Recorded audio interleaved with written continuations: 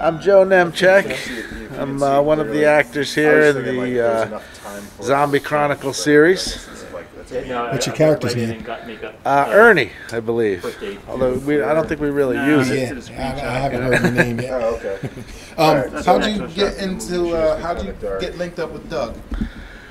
I uh, was looking through Craigslist uh, about five years ago, just looking to uh, try to figure out how I could learn something about acting, and uh, saw that Doug Plamatala was in Norwalk, and you know I answered his ad, and we started shooting five years ago, and here we are.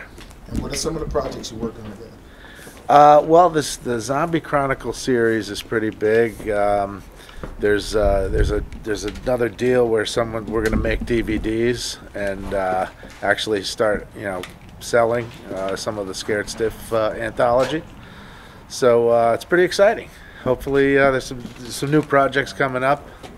Doug has a, a little child now, so you know things might slow down a little bit, but I I, I kind of think he's going to keep going.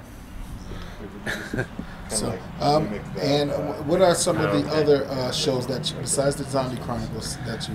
Uh, we did uh, two, um, uh, you know, a, a movie called Whisper in the Wind, and uh, and it was myself and my niece, and uh, it was kind of an interesting story. It was kind of it was kind of you know dark, um, and my niece did a uh, fantastic job her first time. Uh, so we put her in a couple of other ones. She was in one of our most watched episodes, which was Closet Monster. Um, was uh, Judy Nemchek and uh, Dina Montefuscoli.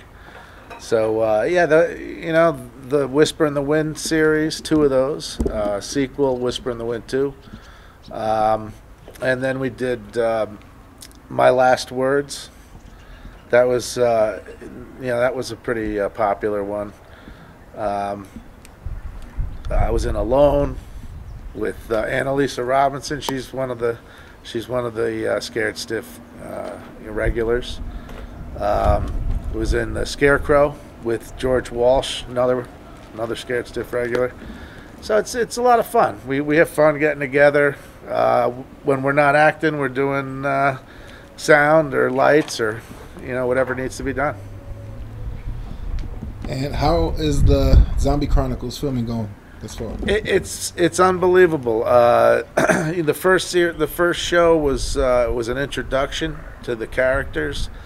Um, it's probably one of the first ones where we had a lot of characters in it. Uh, there were six uh, six, you know, all of them uh, uh, accomplished or semi-accomplished actors, and uh, it, it, came out great. Uh, the second uh, one was really intense.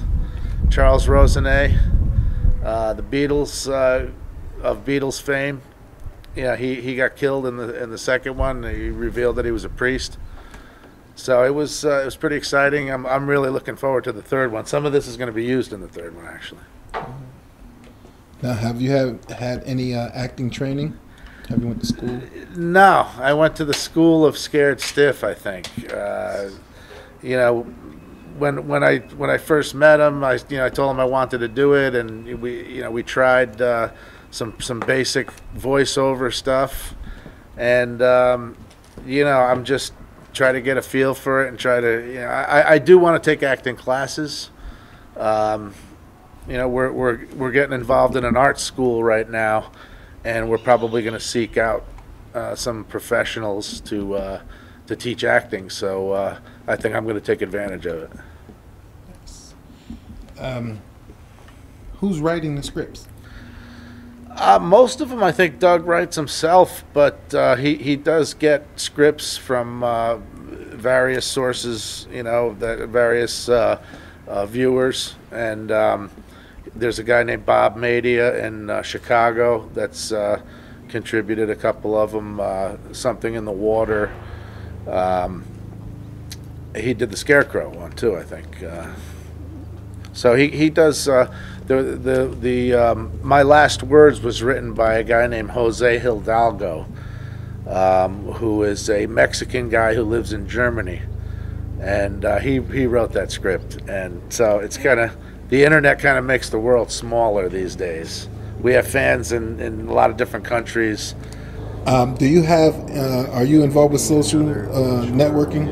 Do you have like Facebook, Twitter? Scared Stiff is uh, is on uh, all social media. I would say uh, they they uh, they do. Um, you know, there's a Facebook uh, page, but YouTube.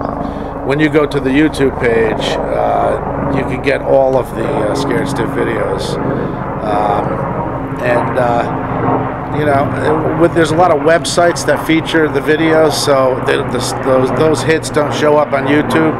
So he's got some great videos on there with you know four or five thousand hits that you know could easily have a lot more. I, I think they do have a lot more actually. We're getting a lot of visibility now. Then what do you see for the future of this uh, this team, Scared Stiff?